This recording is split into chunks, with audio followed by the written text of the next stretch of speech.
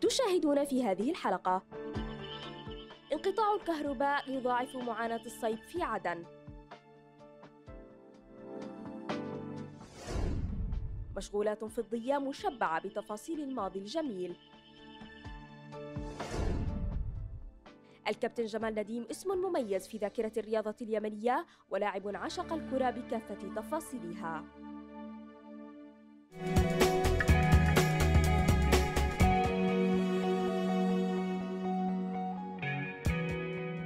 مشاهدينا الكرام كما عودناكم في أولى فقراتنا جولة إخبارية سريعة. نعرض لكم من خلالها أهم الأحداث والأخبار والفعاليات التي حصلت خلال الأسبوع. تابعونا. علق مجلس تنسيق نقابات شركة النفط اليمنية في عدن الإضراب العام عن العمل لمدة أسبوعين. وقال بيان صادر عن مجلس التنسيق إنهم تلقوا وعودا من رئيس الحكومة بحل الإشكالية في اللائحة المنظمة للعمل بين شركتي النفط ومصافي عدن بما يحفظ كافة حقوق الأخيرة في توزيع وبيع المشتقات النفطية. وأوضح البيان أن ضخ المشتقات النفطية من خزانات مصافي عدن إلى خزانات شركة النفط لتوزيعها وتسويقها سيستمر بنفس الآلية المتبعة من قبل الشركة. بدأت في المعهد العالي للقضاء بالعاصمة المؤقتة عدن المرحلة الثالثة في إجراءات المفاضلة لطلاب الدفعة الثالثة والعشرين بالمعهد. ويخوض 333 طالبا المقابلات الشخصية كخطوة ثالثة في إجراءات القبول بالمعهد العالي للقضاء بعد إجراء الاختبارات التحريرية والشفوية فيما تليها المرحلة الأخيرة من خطوات القبول وهي مرحلة الفحص الطبي وتعد هذه أول عملية قبول لطلاب المعهد العالي للقضاء في العاصمة المؤقتة عدن بعد قرار نقله إليها. الكهرباء هي سمة من سمات العصر الحديث ولكن اليمن تبدو كأنها تعود شيئا فشيئا إلى عهد ما قبل التكنولوجيا في ظل تردي خدمات الكهرباء ولا حلول تبدو في الأفق القريب. عدن التي تتخذها الحكومة الشرعية عاصمة مؤقتة. لم تشهد حلولا جذرية لمشكلة الكهرباء عدا بعض المعالجات الترقيعية التي أسهمت مؤخرا في التخفيف من حدة المعاناة وليس إنهاءها. الوضع أقول لك من الأسوأ إلى الأسوأ. حاولنا بجميع الطرق معنا مولدات معنا نشتري عاجزة عشان الشغل. ما فيش فايدة. ما يجي من صيف والكهرباء تكون أخس من صيف. في عدن المواطير ما تتحملش المكيفات الأجواء حارة. خاصة الآن معك شهر ستة وسبعة وثمانية وتسعة. أجواء حارة تسلخ الجلد يعني أنت إذا ما فيش مكيفات على الأقل حاجة يعني الناس ما تقدر تتحمل الكهرباء في ناس معهم أمراض السكري والضغط ما يتحملوش يموتوا من الحر. الحكومة هاي صح أنه في وضع مختلف عن الأوضاع الطبيعية. أتمنى أنها تهتم بالكهرباء أكثر وأكثر مثل ما اهتمت في بداية المشكلة الآن في الأشهر الماضية. منذ ما بعد الاستقلال في ستينيات القرن الماضي واليمن ريفها والحضر لم ينعم بحياة مستوفية الخدمات خاصة قطاع الكهرباء الذي شهد بسبب حرب الانقلاب. تدهورا هو الأسوأ في تاريخ البلاد. الكهرباء عندنا بالذات في منطقة عدن واليمن بشكل عام يعني أزمة لكل حكومة.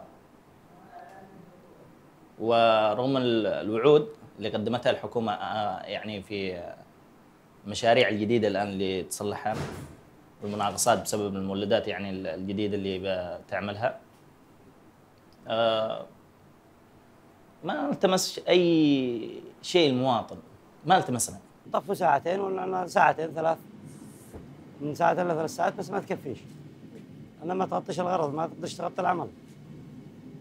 اضطرينا ان إحنا نغير الكاوية من الكهرباء للغاز. الآن لنا أكثر من سنتين تقريبا. يعني المفروض المفروض ننتهي كنا في ديسمبر 2017 لكن للأسف امتدت الفترة إلى يومنا هذا وما زالت المعدات لم تستكمل بعد. يعني تم تجهيز الغلاية رقم خمسة ورقم ستة والتوربين رقم خمسة وشغالين في أحسن حالاتهم. ما عدا التوربين رقم ثلاثة لم يتم إنجازه بسبب عدم وصول قطع الغيار.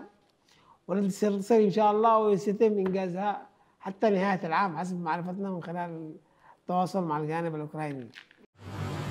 معضلة الكهرباء سببها الرئيس إغفال الحكومة المتعاقبة إنشاء محطات توليدية والاعتماد على المحطات القديمة المتهالكة.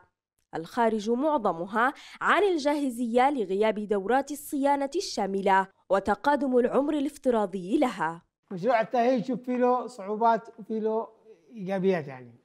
طبعا الإيجابيات إنه نحن في الصيف هذا قدرنا نشتغل في المحطة هذه بطاقة إنتاجية لا تقل عن يعني في حدود في المتوسط في حدود 80 ميجا وات العام الماضي واللي قبله كنا في 11 ميجا. يعني شو الفرق على ثلاث المرات. الحل مولد موجود الديزل مش موجود. والغاز برضه معدوم يعني كانت دبابة 2500 ب 3000 الآن نشيل 5500 كذلك المواطن يتحمل بعض الأعباء بسبب الربط العشوائي. الاستخدام الكثير لما يقول عندنا البطرة. يخلي الكهرباء البيت 24 ساعة لاصي وعدم تسديد الفواتير الكهرباء لأنه الآن أصحاب الكهرباء يشكوا من عدم تسديد الفواتير. فالشعب اليمني كله على بعضه يتحمل. إذا ما فيش تعاون تكافل من قبل المسؤولين والمواطنين بنفس الوقت أكيد الكهرباء بتستمر على هذا الوضع ويمكن عاد تزيد اسوء الاسوء صيف قائض تكابده عدن كل عام تستقبله بشبكة منظومة متهالكة وبأعلى نسبة عجز في التوليد. غالبا ما تقابل بردود فعل غاضبة وأعمال شغب دامية تعكس حالة لا استقرار في المدينة الغارقة في الظلام. نرحب بالمهندس عبد الله أحمد محمد هاجر نائب وزير الكهرباء والطاقة أهلا ومرحبا بك اليوم معنا نائب الوزير في هذا اللقاء الذي نناقش فيه وضع الكهرباء في اليمن وبالأخص في العاصمة المؤقتة عدن. بداية لا تخفى معاناة الكهرباء يعني التي يعاني منها اليمنيين على أحد، في رأيكم ما هي الأسباب ومن يتحمل المسؤولية؟ بسم الله الرحمن الرحيم. أهلا وسهلا بكم آه، في آه، وزارة الكهرباء والطاقة آه، شاكرين آه، وصولكم إلى إلى هنا للاطلاع على أوضاع الكهرباء بصورة عامة في الجمهورية اليمنية نفسها وبصورة خاصة في آه، منطقة عدن نفسها. الحقيقة بالنسبة للكهرباء الكهرباء ذات الشجون نفسها. وضع الكهرباء في اليمن وفي الجمهورية اليمنية نفسه وضع سيء من سنوات وليس من وليد وليد اليوم نفسه. آه، الكهرباء في في في اليمن آه، تقريبا لم يدخل أي توليد في الكهرباء منذ آه، عشرات السنين. تقريبا آخر توليد دخل في بالنسبة للكهرباء من خمسين سنة هو محطة مارب الغازية التي هي الآن واقفة بسبب آه، الحاجة الماسة للصيانة العمرية للمحطة الغازية نفسها هذا هو المشروع الاستراتيجي الوحيد. أما بقية المحافظات أو بقية المناطق خاصة في عدن نفسه فكل التوليد الذي موجود لحد الآن آه، نصه آه، من المحطات القديمة التي قد انتهى عمرها الافتراضي والنص الآخر من استئجار الطاقة من القطاع الخاص نفسه. وكل هذه المحطات التوليد التي تعمل الآن سواء باستئجار الطاقة أو المحطات التابعة للحكومة هي تعمل بوقود الديزل ووقود المازوت وهذه طبعا الجدوى الاقتصادية بالنسبة لهذه المحطات أو استخدام الوقود غير مجدي على الإطلاق. مهندس عبد الله قلتم آه، خمسون عاما آه، يعني لم تتجدد المحطات ولم يحدث أي تطوير آه، بشكل عام للكهرباء في اليمن. من يتحمل مسؤولية هذا؟ الحقيقة المسؤولية الأولى تحملها الحكومة نفسها. وذلك بسبب الأوضاع الاقتصادية السيئة للحكومة. لم تستطيع الحكومة أن تلبي الاحتياج المتزايد للكهرباء آه، في في المنتشر في جميع محافظات الجمهورية سواء على مستوى المدن أو مستوى القرى نفسها. وبقيت كلها الحكومة تسعى فقط للحلول الإسعافية الإسعافية فقط لحل المشكلات في في في في في الفترة التي مطلوبة فقط فيها. أما مشكلة الكهرباء فهي طبعا بحاجة إلى محطات استراتيجية وهذه المحطات الاستراتيجية تحتاج إلى تمويل والبحث على التمويل هذا هي كانت المشكلة العويصة والمشكلة الكبيرة لتنفيذ الخطط التي ترفع من قبل وزارة الكهرباء بصورة مستمرة ترفع الخطط واحتياجات للمحطات الاستراتيجية. كان آخر هذه الخطط التي رفعت على أساس حل مشكلة الكهرباء بصورة نهائية وهي في سنة 2013 عندما زار فخامة الرئيس آه، الصين. وكان هناك أيضا استعداد من الحكومة الصينية على أساس يحلوا مشكلة الكهرباء بصورة أو مشكلة التوليد بصورة نهائية نفسه. محطات التوليد وأيضا خطوط النقل، خطوط النقل أيضا هذه مشكلة كبيرة جدا نفسه. وكان هناك فيه اتفاقيات أولية تم توقيع عليها في 2013 في نهاية 2013 بين وزاره الكهرباء آه، والحكومة الصينية على أساس إن الحكومة الصينية ستستطيع أن تقدم آه، حلول مكتملة آه، مع التمويل مع تمويل ل 3000 ميجا وهذا هو كان الحل المناسب والحل الوحيد مقصدي لحل مشكلة التوليد للجمهورية اليمنية بالكامل. الحقيقة إنه آه، في تأخير في 2013 لكن حل أفضل من ما لا حل نفسه، أما بالنسبة للسنوات السابقة زي ما قلت أنا نفس الوزارة كانت ترفع الخطط اولا بأول نفسه وكانت تعتمد في في الحكومة. لكن كانت المشكلة العويصه لأنه مشاريع الكهرباء وخاصة المشاريع الاستراتيجيه مكلفة. كلها من من المليار وما فوق مقصدين. المشاريع الكهرباء سواء في خطوط النقل أو في محطات التوليد. مهندس عبد الله هل يعقل بأن الجمهورية اليمنية في الفترات التي سبقت الحرب يعني في فترات الأمن والاستقرار لم تكن تمتلك الموارد الكافية لدعم الكهرباء منظومة الكهرباء بشكل عام؟ الحقيقة أستطيع أقول إنه فعلا كان في خلل كبير جدا نفسه. كانت الحكومات المتعاقبة نفسها من الثمانينات وبعد الوحدة والى اليوم نفسه تدعم الكهرباء بمبالغ باهظة جدا نفسها. كان هناك دعم من الحكومة آه، يقدر بأكثر من مليار و200 مليون دولار شهر آه، سنويا نفسه لقطاع الكهرباء نفسه. كان هذا كل معظم الدعم هذا يروح في في استئجار الطاقة وفي قيمة الوقود نفسها الذي هو المازوت والديزل نفسه. وكان بإمكان هذا المليار وال200 يحل مشكلة 600 إلى 700 ميجا وات وأيضا خطوط نقل تحل مشكلة طبعا آه، بصورة مستمرة سواء باستخدام آه، المحطات الغاز أو باستخدام محطات الفحم. هذه المحطات التي فيها دراسات جدوى من قبل استشاريين آه، أجانب نفسه وعلى أساس إنه أفضل محطات أو أفضل محطات بالتوليد هي باستخدام الفحم واستخدام الغاز. الطبيعي. أين ذهب هذا التمويل؟ الحقيقة الآن ما فيش تمويلات لأنه زي ما قلت ليش كان التمويل هذا تتحمل الحكومة دعم شهري نفسه وسنوي لكل للمحطات هذه اللي بتستخدم المحطات الذي قد عفى عليها الزمن والذي أيضا قد انتهت عمرها الافتراضي كانت تستخدم تستخدم وقود الديزل والمازوت ولا زالت المحطات لحتى الآن. كل المحطات الذي موجوده عندنا ما عدا محطة مارب الغازية هي اللي تستخدم الغاز. أما المحطة بقية المحطات تستخدم الديزل والمازوت. وهذا الآن آه، للأسف أستطيع أقول إنه على مستوى العالم كله الآن. العالم كله نفسه حتى ما في ذلك دول مجلس التعاون الخليجي الذي عندها بحر من النفط والكذا بدأت تفكر في استخدام المحطات ذات الجدوى الاقتصادية أي أقل كلفة وهي المحطات الغازية ومحطات الفحم الحجري ومحطات أيضا الطاقة المتجددة. نعم، بالنسبة لاتفاقية الصين هل لا تزال قائمة؟ اتفاقية الصين لا زالت قائمة وقد وقعت آه، أثناء تواجد فخامه الرئيس هناك نفسه. لكن بسبب الأوضاع ما أوضاع ما الذي ستقدمه اليمن يعني بديلا عن عن ما سوف تقدمه الصين لدعم لمنظومة الكهرباء؟ آه، هو الحقيقة كان على أساس إنه آه، طالبها الحكومة الصينية فقط ضمانات الحكومة اليمنية نفسها على أساس فيما يخص أتوقع أنه كانوا بيطلبوا ضمانات فيما يخص أظن تصدير النفط إلى إلى الحكومة الصينية كضمانات حكومية. لكن الحقيقة الحكومة الصينية تقدم ضمانات وحلول مكتملة نفسها كانت الحكومة الصينية تقدم القروض القرض كامل 100% وليس 85 ولا 80% زي ما بتقدم بقية الأخرى. لكن كانت آه، آه، العيب أو زي ما تقول القصور فيها في هذا الاتفاقية إنه كان بيطلبوا آه، فوائد تجارية وليست فوائد ميسرة نفسه لأنه هو المبالغ كبيرة جدا نفسه على أساس إنه أظن 6% وما فوق نفسه فكان في اعتراض من قبل ال- ال- ال- الحكومة اليمنيه ومن قبل مجلس النواب على أساس انه هذا مرفوضه ال- ال- ال- ال- ال- التمويلات أو القروض بهذه الطريقة نفسها.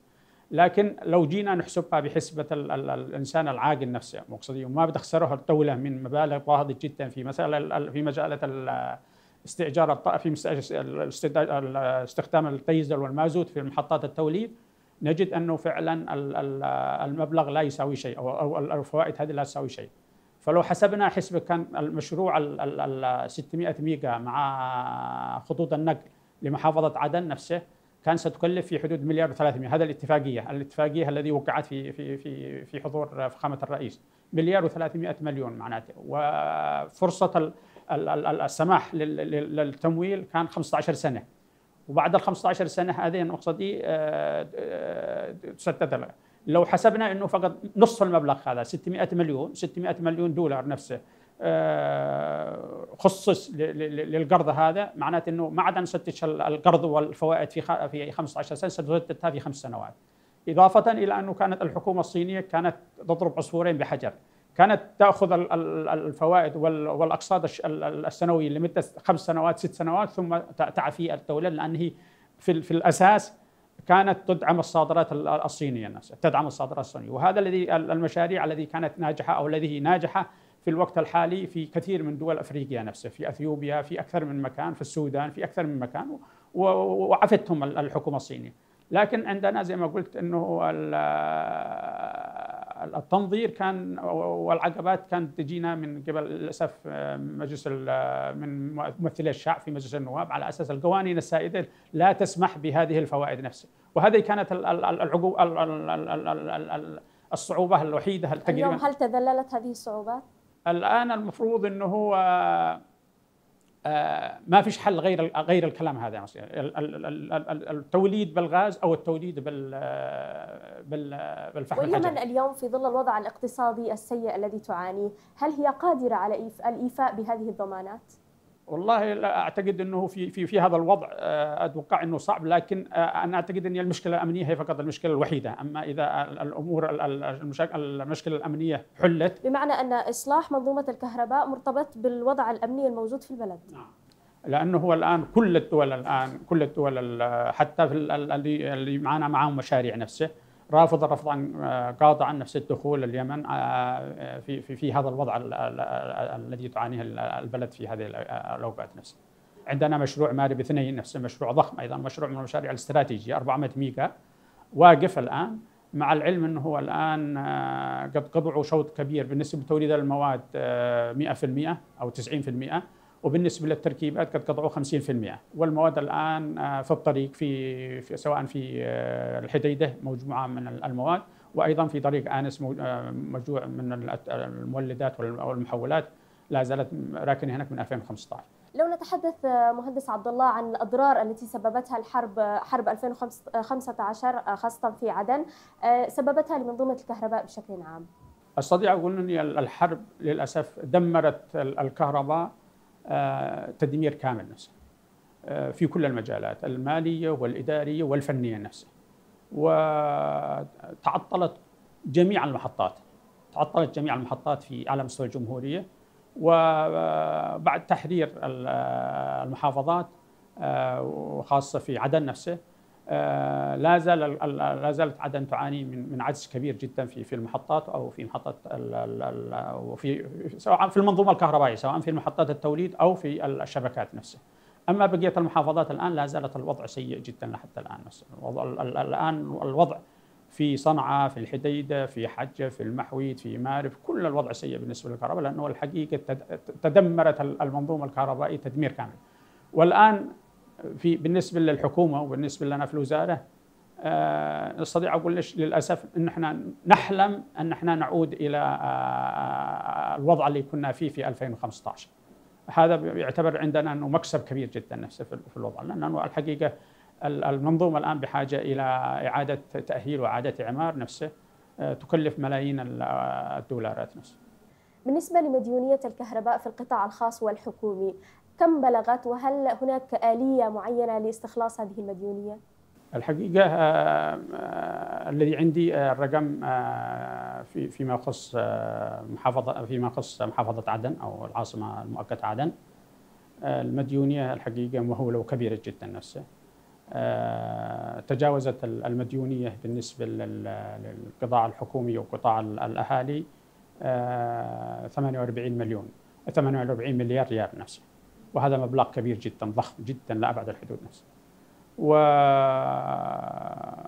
المديونية آه، ربما أن متوسط الآن آه، يكون أكثر من 35 شهر. وهذا لم يحصل من سابق تماما نفسه أنه تبقى المديونية هذه موجودة عند المواطنين.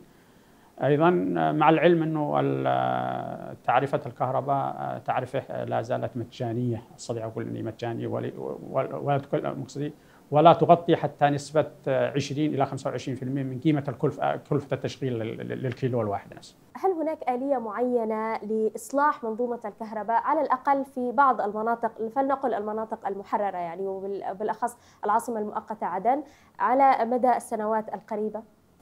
آه كما ذكرت لك نفسه إنه هناك بالنسبة للعاصمه المؤقتة عدن نفسه لدينا مشروعين رئيسيين كبيرين نفسه الذي هو مشروع آه، فخامة الأخ رئيس الجمهورية المرحلة الأولى 265 ميجا وات نفسه. آه، محطة ستعمل هي محطة تعمل بالغاز لكنها ستعمل مؤقتا الآن بالوقود الثقيل بالوقود الثقيل. والمشروع الثاني الرئيسي هو مشروع خطوط النقل أيضا مشروع حكومي. الذي سيمتد من الحسوة إلى المنصورة ثم من المنصورة إلى خرمكسر نفسه. آه هذا سيحتاج إلى 18 شهر. آه بدأ العمل فيه من الشهر الماضي نفسه والآن في طور التصنيع. أما بالنسبة للمحطة أنا أتوقع أنه آه محطة التوليد سينتهي العمل منها في نهاية العام 2019 والحقيقة فخامة الأخ الرئيس الجمهوري يشرف على ذلك شخصيا في في في في إنجاز هذا المشروع الكبير نفسه. هذا أنا أتوقع أنه سيحل أستطيع أقول 90 إلى 95 في من مشاكل التوليد في في في العاصمة المؤقتة عدن نفسها. بالنسبة لبقية المحافظات لا يوجد لدينا إلا مشروعين رئيسيين نفسه. آه، الانتهاء من مشروع من آه، الصيانة العمرية للمحطة الغازية مارب الذي هي قدرة 340 ميجا وات وهذه أتوقع أنه سيستفيد منها آه، كثير من المحافظات محافظة مارب محافظة الجوف محافظة شبوة. إضافة إلى أنه بإمكان إذا تم الاتفاق مع الحكومة الإنقلابية في في في صنعاء آه، إنه ننقل التوليد أيضا إلى نستفيد من بقية المحافظات التي صنعاء ثم دمار ثم تعز ثم غيرها نفسه. المحطة مارب اثنين أيضا 400 ميجا نفسه. آه، يجب أن الاستكمال المشروع حيث التمويل حقه جاهز وموجود. وأبشركم أنه أيضا الشركة المنفذة آه، شركة بهارات وافقت على العودة للعمل في في صافر في مارب لإكمال المشروع نفسه.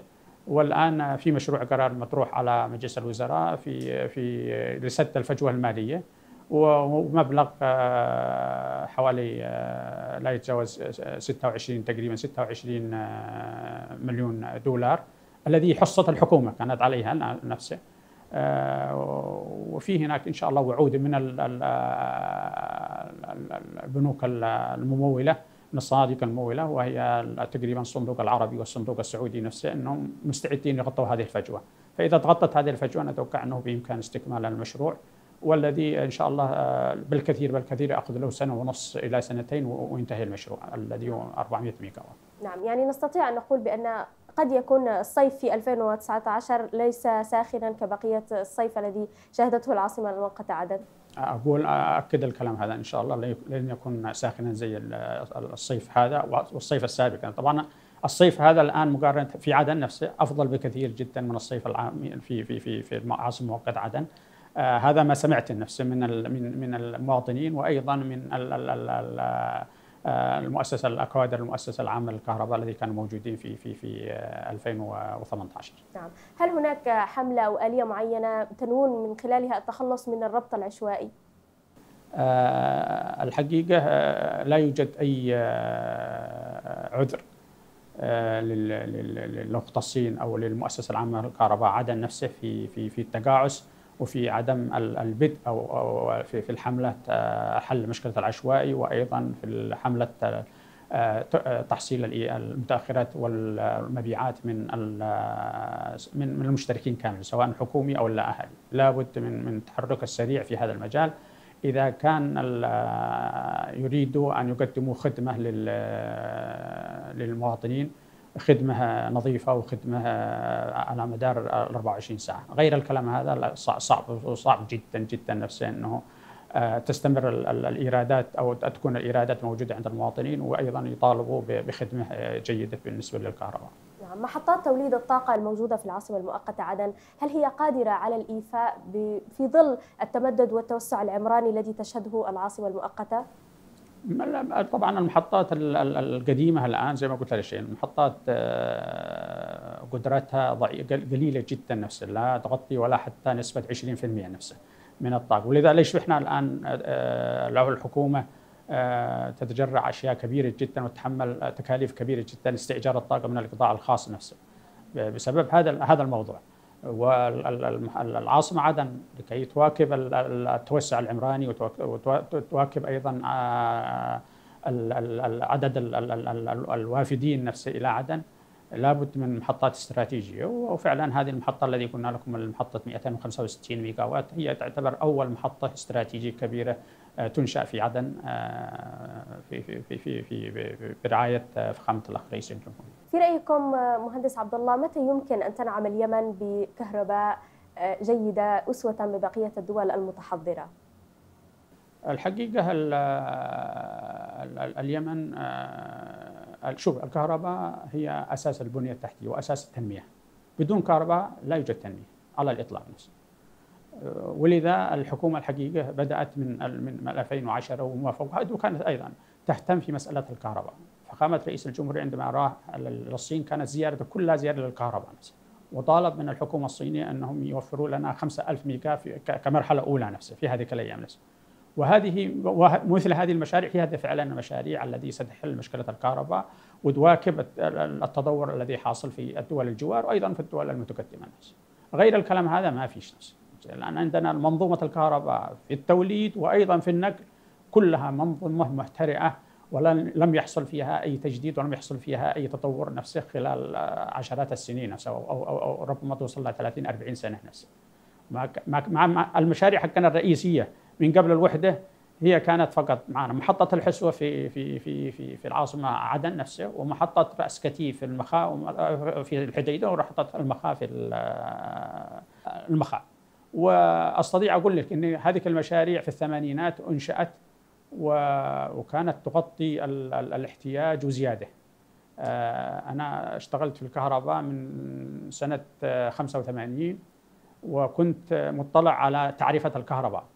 فكان متصور إنه كانت تعرفه الكهرباء في هذه الأيام نفسه للمشترك العادي الأهالي نفسه كان ريال واحد للكيلو وبالنسبة لكبار المستهلكين المحطة الذي كان مصانع الاسمنت وبيت هاي السعيد وكذا وكذا كان نشجعهم ياخذوا الكهرباء ب 65 فلس. 65 أقل من من قيمة الكهرباء للمشترك نفسه. لأن كان عندنا في وفر كان في وفر. فتحوا افتتحوا محطة المخا وعندنا وفر في الكهرباء نفسها هذه هي الخطط التي كان المفروض الحكومة تسعى إليها بهذه الطريقة نفسها. لكن للأسف إنه بعد الوحدة زي ما قلت نظرا لعدم وجود التمويلات الكافية لإنشاء محطات استراتيجية. بقيوا أيضا محطات إسعافية، محطة إسعافية كل شهر كل سنة يعملوا محطة إسعافية، كل سنة محطة إسعافية. وهي بتستخدم ما هو وقود الديزل ووقود المازوت وهذا الوقود والوقود الذي آه، على على مستوى العالم بكله نفسه إنه مكلف جدا جدا ولا يمكن أن تكون يكون آه، مكلف ذات جدوى اقتصادية تستطيع الكهرباء. أو تستطيع الوزارة ان ان تتحمل نفسها دون الدعم الحكومة.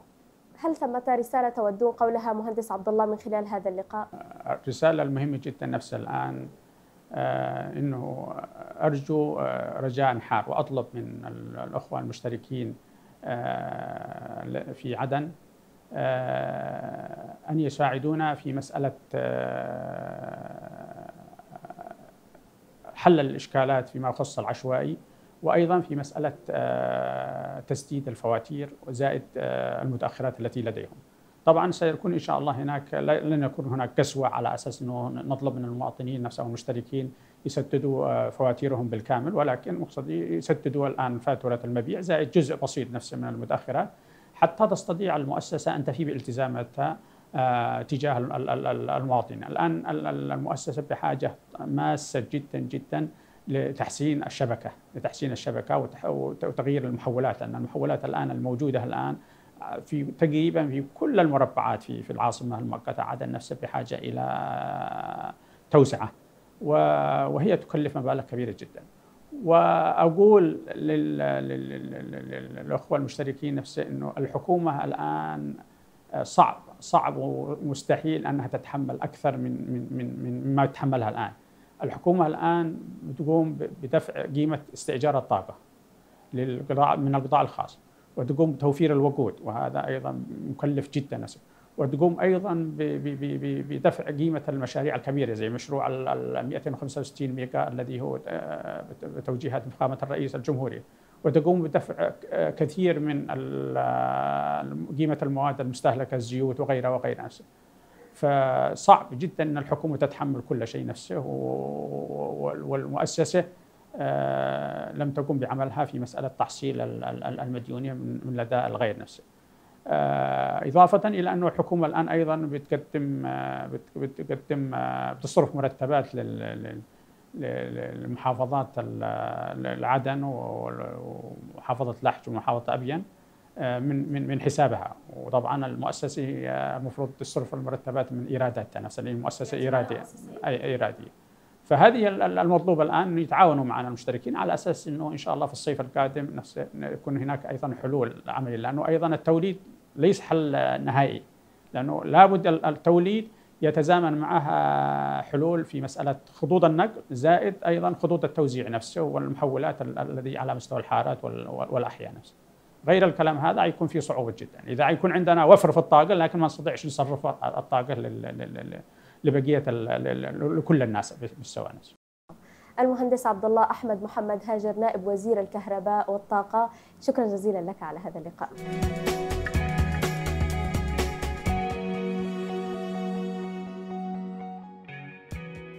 لطالما كانت الفضة رمزا من رموز الحضارة اليمنية بصياغتها المتقنة ومنظرها الجميل. حكايتنا لهذه الحلقة.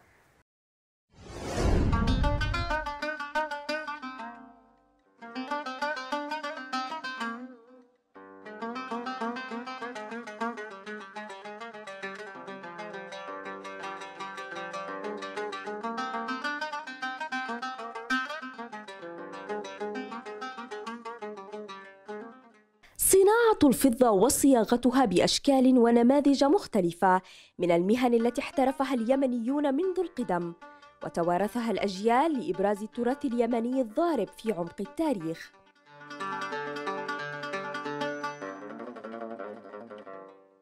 مشغولات فضية مشبعة بتفاصيل تراثية قديمة تجسد حرفية اليمني ومهارته في تطويع معدن الفضة وتحويله إلى تحف فنية غاية في الدقة والمتانة.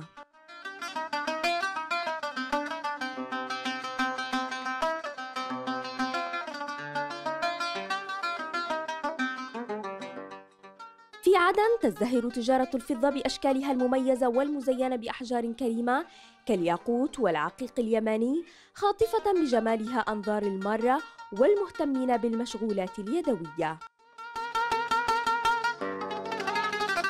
تتزين محلات بيع الفضة بأجمل الأشكال من الخواتم والعقود التي يتخذها الرجال والنساء كحلي للزينة في مختلف الأوقات والمناسبات.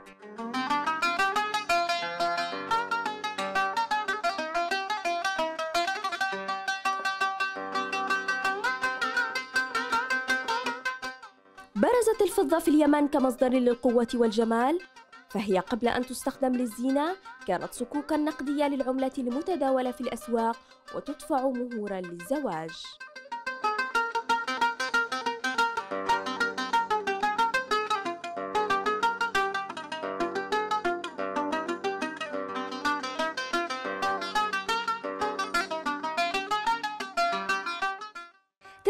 الحلي الفضية بدقة زخارفها التي تثبت مهارة الصناع في التشكيل الحر بكل ما تختزله الذاكرة من إبداع هندسي يجعل من صفائح الفضة لوحات وتحف فنية تسر الناظرين.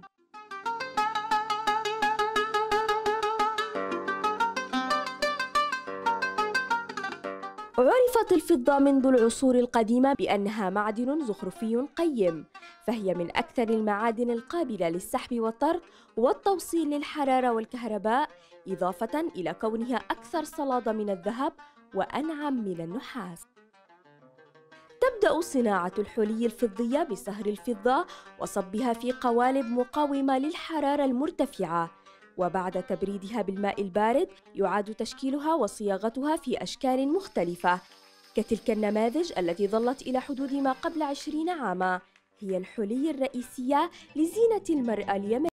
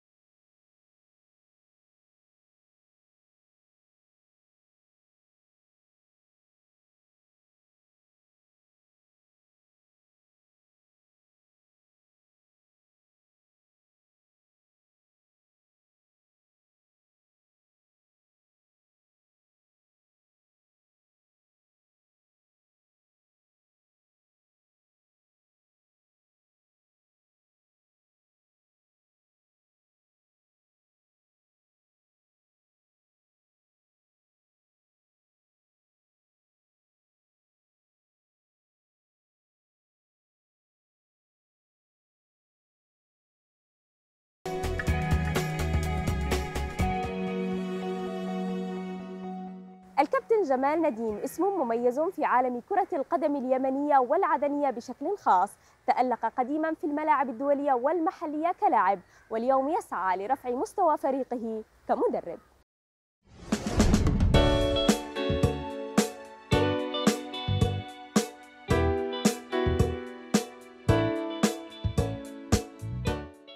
بنادي التلال قبل ما ينف عن ثلاثة عقود وتميز بلياقة عالية أهلته للانتقال إلى المنتخب الوطني وبعد 15 عاماً اعتزل اللعب وعاد للعمل مدرباً في النادي الذي انطلق منه.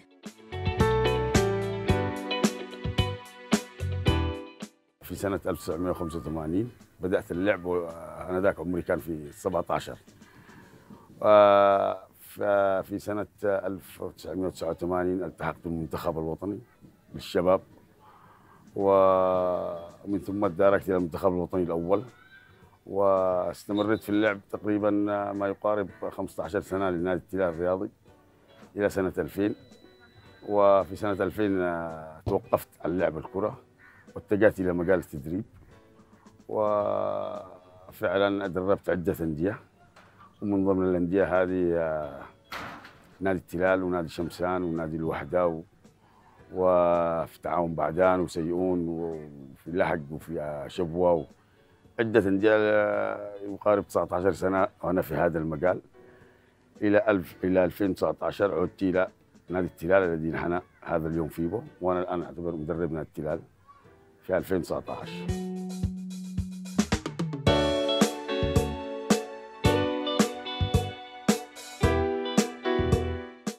شارك الكابتن جمال نديم في العديد من البطولات عالميا وعربيا ومحليا ونقش في ذاكرة الكرة اليمنية اسما مميزا ولاعبا عشق الكرة بكل تفاصيلها.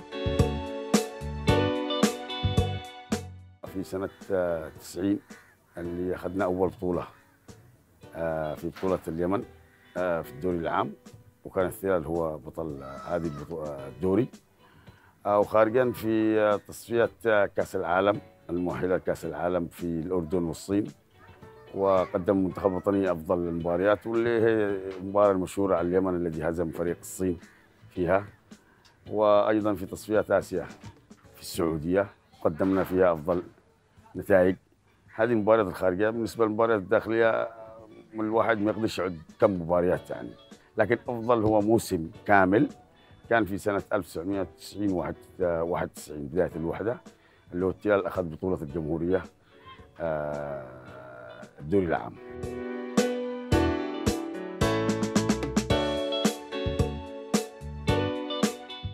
أثرت حرب الانقلاب كثيرا على الرياضة كما يقول الكابتن جمال نديم ولم تعد كرة القدم تلقى الاهتمام والدعم الذي تستحقه ولا ترقى مستويات أنديتها في عدن خاصة واليمن بشكل عام إلى المستوى المطلوب.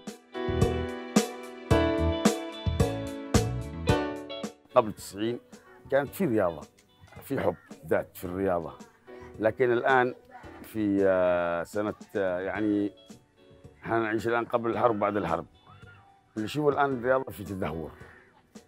القائمين على الرياضة مش مهتمين بالدرجة الصحيحة. آه، أيضا آه، الأندية بعد الحرب تقريبا أغلب الأندية دخلت مرحلة الركود. وساعد في ذلك وزارة الشباب والرياضة والاتحاد اليمني عدم إقامة الدواري الكثيرة أدى إلى هبوط مستوى اللعبة بشكل عام داخل داخل اليمن. فأنا نتمنى يعني لأن- لأنه قبل الحرب كان بدأنا في مستوى كويس وفي نتائج كانت كويسة بالنسبة لمنتخباتنا الناشئين. لكن الآن نحن في تراجع في تراجع في تراجع. لازم نعمل تقييم صحيح لهذه القائمين على العمل هذا يعملوا تقييم صحيح. للكرة اليمنية. لأنه بعد ذلك أنا أشوف إن إحنا بنوصل إلى شيء ما نتوقعوش بالنسبة للرياضة في اليمن. نشأ الكابتن جمال في أسرة رياضية مما سهل أمامه العراقيل وذلل له الصعاب في مشواره الرياضي. صانعا تجربة متميزة تعهدها بالكثير من الحب والجد والمثابرة.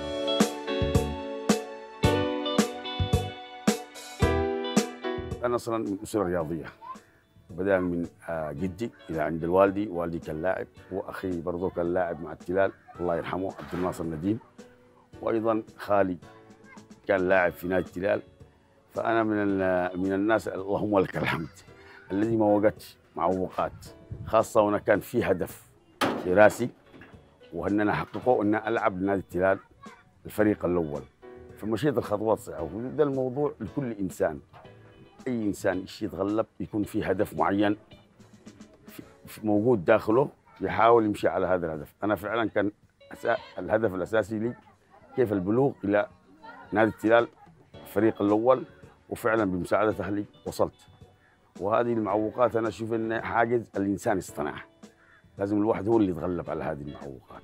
والحمد لله الحمد لله. يعني لحد الآن ما شيء معوقات.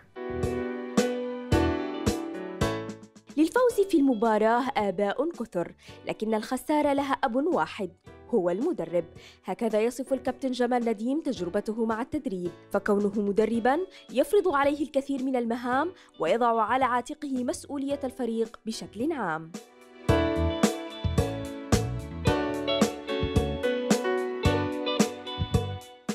المدرب لازم يكون مسؤول عن الناس كل المتواجده سواء كان لاعبين سواء كان جهاز فني سواء كان تحسب بيض الجمهور مسألة المدرب هي ال- الطريقة التعب. لأي شخص يشتغل في هذا المجال لأنه في كرة القدم عندنا آه لما يفوز الفريق يظهر له 100 اب ولما يخسر الفريق يظهر له أب واحد اللي هو المدرب. فلهذا التعب الكثير على المدرب من اللاعب. وأنا لما كنت لاعب طبعا ما شعرتش بهذه الأمور كلها. لكن لما دخلت في المدرب شعرت بهذه الأمور وشعرت بالمدربين الذي تعبتهم من قبل والآن شعور بهذا الموضوع. لكن أنا أشوف إنه مجال التدريب هو مجال واسع ومتطور.